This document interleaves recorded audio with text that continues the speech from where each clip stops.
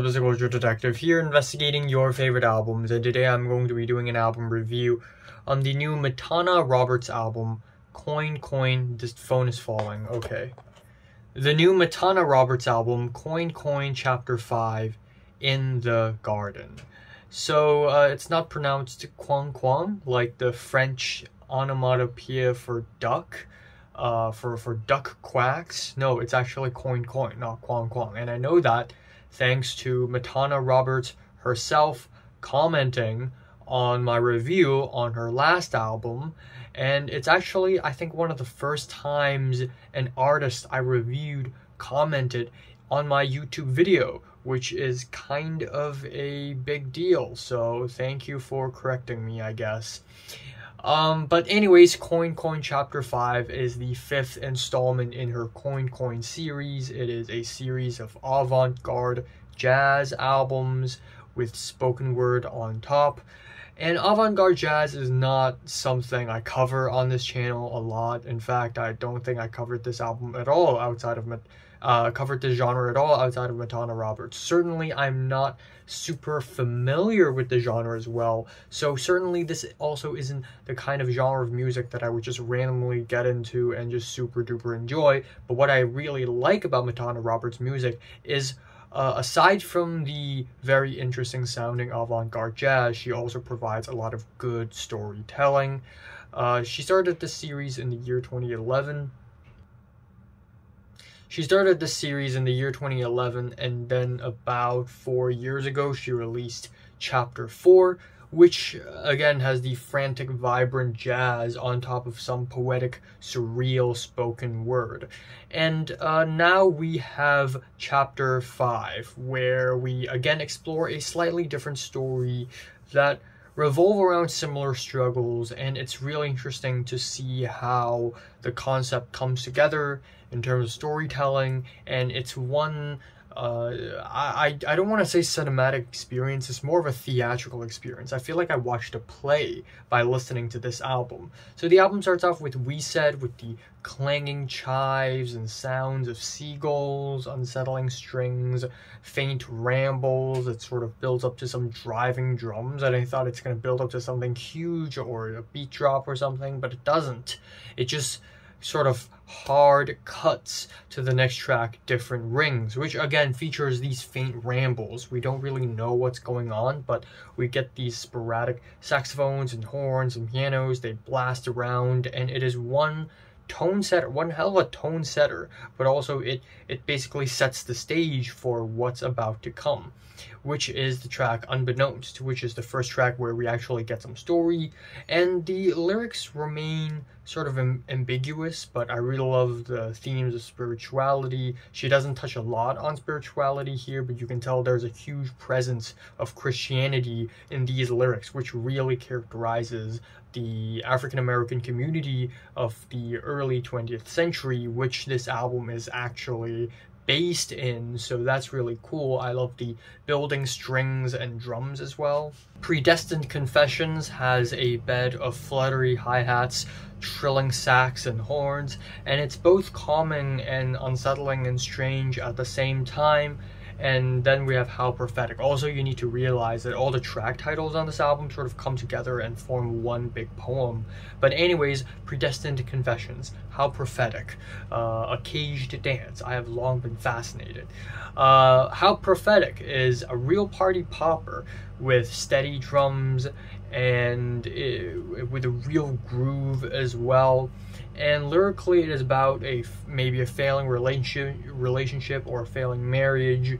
And from what i can tell from the song at first i thought maybe she's telling a story from the 19th century or something. It just has that really old uh, literal and, and by literal I mean like literature quality to it, which I really, really like. But again, we have the refrains, my name is your name, our name is their name. Uh, it took me a while to sort of figure out what's going on, but my name is your name, our name is their name is basically what happens in a family when everyone shares the same last name. So this is very much about that, I think. Anyways. Maybe there's more of a double meaning to it. I wouldn't be surprised. A Caged Dance is a six minute long saxophone solo that sort of transitions to I've Long Been Fascinated, where the sax breaks down into a bunch of strings and horns. It feels like they've totally lost control. It smoothly transitions to some really nice and clean singing, and then entering the next part of the story, enthralled not by her curious blend, where the spoken word continues to have swelling keys and buzzing noises. She talks about how she missed out on his boys growing up, and and how it's it's given her a lot of pressure. She's be, she's beginning to question herself as well.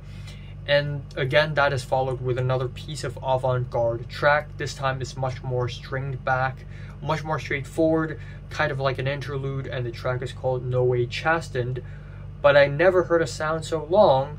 The next track is uh, perhaps a highlight on the album for me because this track is essentially a spiritual. It's a lullaby in the spirit uh, in the style of a spiritual, and it's easily uh, some of my favorite moments on the album because it's so dramatic, so solemn, uh, in some ways very melancholic, and I can pretty much say the same for the next track, "The Promise," which is pretty much a three-minute extension of the previous track, which is only one and a half minutes long, is nothing but vocal harmonies, but this time it's a lot more angelic then we have Shake My Bones, where the album enters a jazzier direction with a real groove. And again, this goes the same for the entirety of the album. I really like the production. I feel like it's a, like a live recording or something. I feel like there's a band playing in front of me, so it's very, very organic and rustic.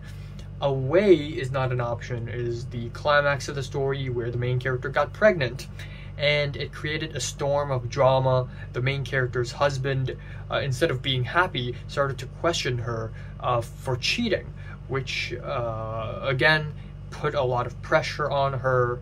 And it just goes to show how tough it must have been for uh, a woman uh, for an African American woman to be a mother, especially in the 1920s. On this track, the album finally reveals itself that this is set in 1925. And we have speedy horns and drums that add to the tension, and some tribal percussion at the end, which prolonged into For They Do Not Know, which is easily the longest track on the album. It's nearly seven minutes long with all sorts of textured percussion, chimes, and keys, which dissolves into refrains where it sounds like the main character has lost her mind. My name is your name. My name is your name. Their name is our name. Their name is our name. And it sort of repeats itself again and again and again for a couple minutes.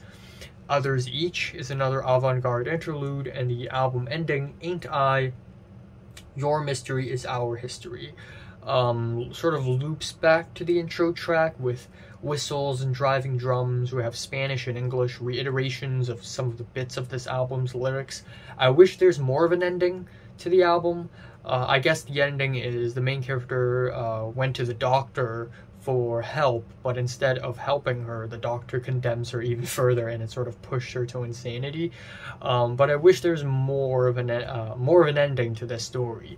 But overall, it's still really interesting, not only for the uh, jazzy elements, but also for the spoken word and the story and the way the story is laid out and chopped up and sort of scattered across this album and how all the track titles form a poem that reflects on the story. So yeah, another really good album from Matana Roberts. I still prefer chapter 4 a little bit over this one, but I think this is really good as well. I'm feeling a light to decent 8 out of 10. So have you listened to the new album from Matana Roberts? Comments below, let me know, subscribe if you want more, and thanks for watching.